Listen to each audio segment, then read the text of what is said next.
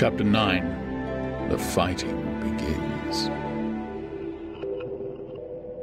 Saturday lives in my memory as a day of suspense.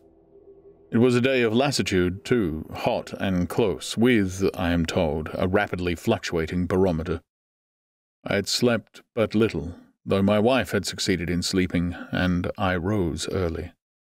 I went into my garden before breakfast and stood listening, but towards the common there was nothing stirring but a lark. The milkman came as usual. I heard the rattle of his chariot, and I went round to the side gate to ask the latest news. He told me that during the night the Martians had been surrounded by troops and that guns were expected. Then, a familiar reassuring note, I heard a train running towards Woking. They aren't to be killed, said the milkman, if that can possibly be avoided. I saw my neighbour gardening, chatted with him for a time, and then strolled in to breakfast. It was a most unexceptional morning. My neighbour was of opinion that the troops would be able to capture or to destroy the Martians during the day. It's a pity they make themselves so unapproachable, he said. It would be curious to know how they live on another planet. We might learn a thing or two. He came up to the fence and extended a handful of strawberries, for his gardening was as generous as it was enthusiastic.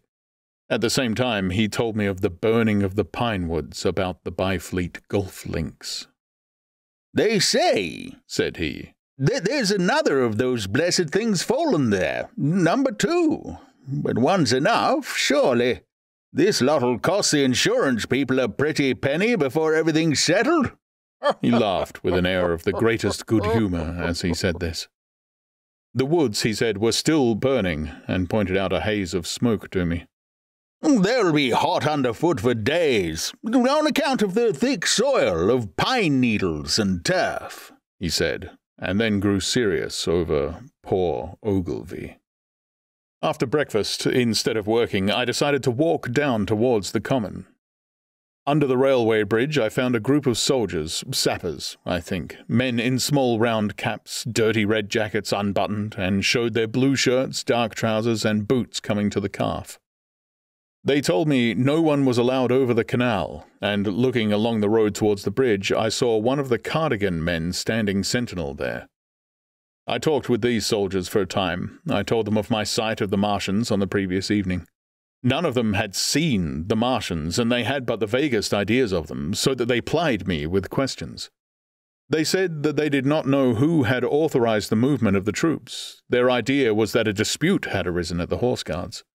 The ordinary sapper is a great deal better educated than the common soldier, and they discussed the peculiar conditions of the possible fight with some acuteness. I described the heat ray to them, and they began to argue among themselves. Crawl up under cover and rush 'em, say I, said one. Get out, said another. What's cover against this here heat? Sticks take hook ye.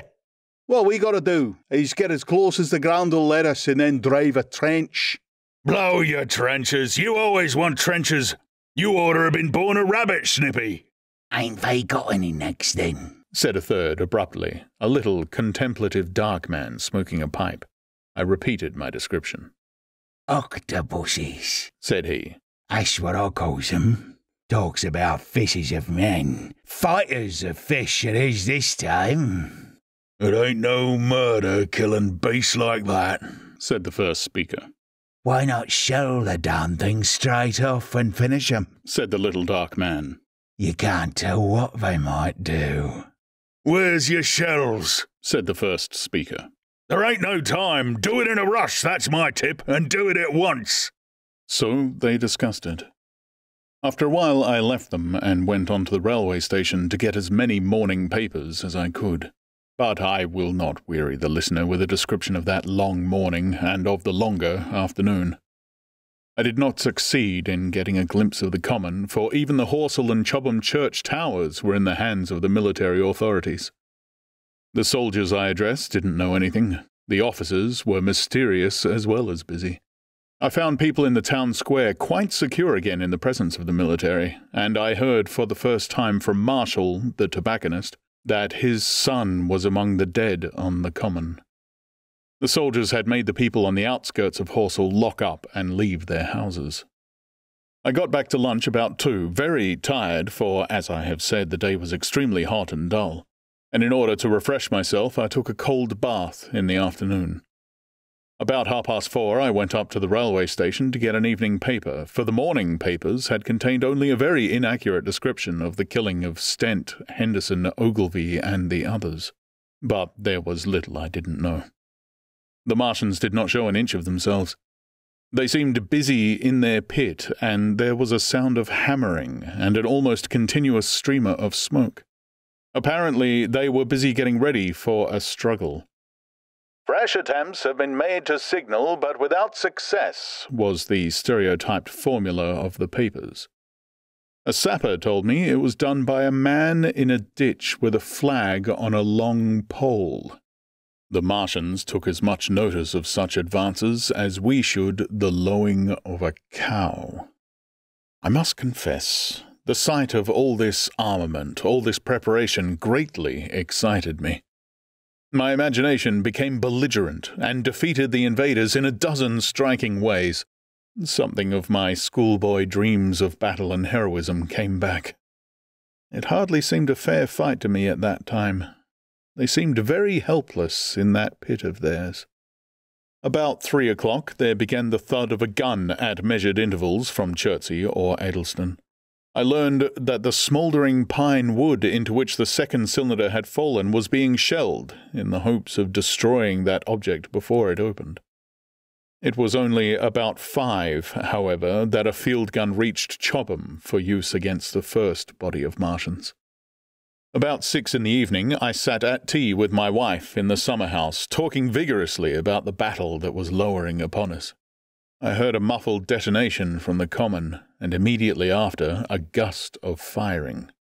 Close on the heels of that came a violent rattling crash quite close to us that shook the ground, and starting out upon the lawn, I saw the tops of the trees about the Oriental College burst into smoky red flame, and the tower of the little church beside it slide down into ruin.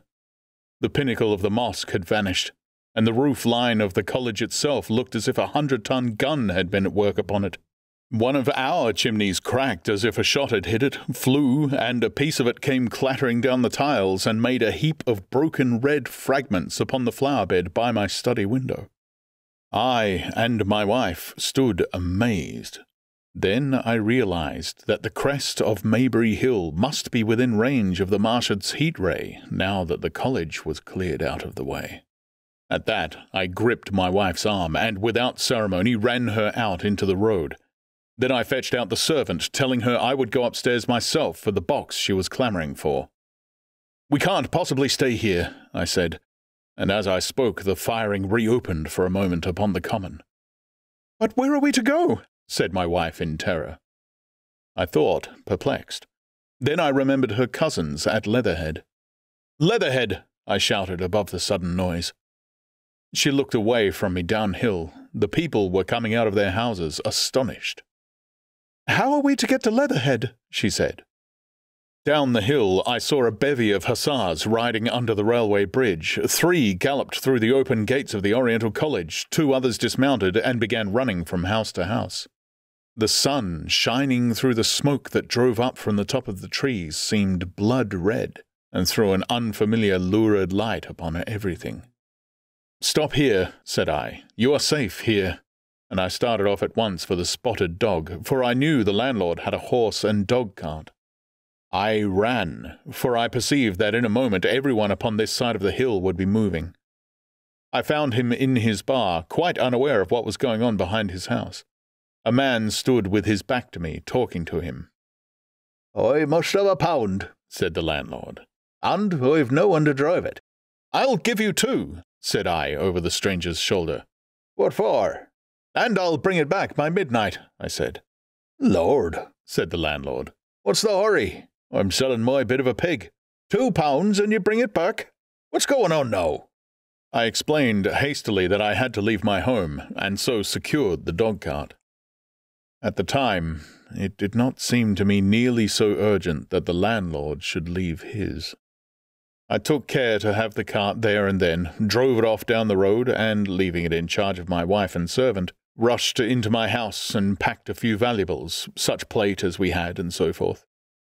The beech trees below my house were burning while I did this, and the palings up the road glowed red. While I was occupied in this way, one of the dismounted hussars came running up. He was going from house to house, warning people to leave. He was going on as I came out my front door, lugging my treasures, done up in a tablecloth. I shouted after him, What news? He turned, stared, bawled something about, Crawling out in a thing like a dish cover! and ran on to the gate of the house at the crest. A sudden whirl of black smoke driving across the road hid him for a moment. I ran to my neighbor's door and rapped to satisfy myself of what I already knew that his wife had gone to London with him and had locked up their house. I went in again, according to my promise, to get my servant's box, lugged it out, clapped it beside her on the tail of the dog cart, and then caught the reins and jumped up into the driver's seat beside my wife. In another moment, we were clear of the smoke and noise, and spanking down the opposite slope of Maybury Hill towards Old Woking. In front was a quiet, sunny landscape, a wheat field ahead on either side of the road, and the Maybury Inn with its swinging sign. I saw the doctor's cart ahead of me. In the bottom of the hill, I turned my head to look at the hillside I was leaving. Thick streamers of black smoke shot with threads of red fire were driving up into the still air and throwing dark shadows upon the green treetops eastward. The smoke already extended far away to the east and west, to the Byfleet pine woods eastward and to Woking on the west. The road was dotted with people running towards us, and very faint now, but very distinct through the hot, quiet air. One heard the whir of a machine gun that was presently stilled and an intermittent cracking of rifles. Apparently, the Martians were setting fire to everything within range of their heat ray. I am not an expert driver, and I had immediately to turn my attention to the horse. When I looked back again, the second hill had hidden the black smoke. I slashed the horse with the whip and gave him a loose rein until Woking and Send lay between us and that quivering tumult. I overtook and passed the doctor between Woking and Send.